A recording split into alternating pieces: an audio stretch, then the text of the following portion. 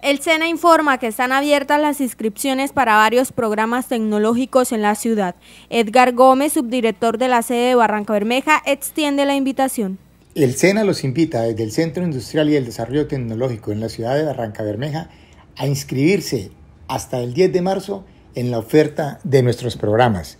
En esta oportunidad estamos ofertando los tecnólogos en las siguientes áreas. Diseño e integración de automatismo mecatrónicos, gestión integrada de la calidad, medio ambiente, seguridad y salud ocupacional, gestión contable y de información financiera, prevención y control ambiental. Esos cuatro tecnólogos se ofertan en la ciudad de Barranca Bermeja. De igual forma, hay disponibles técnicas para que la comunidad acceda a la educación.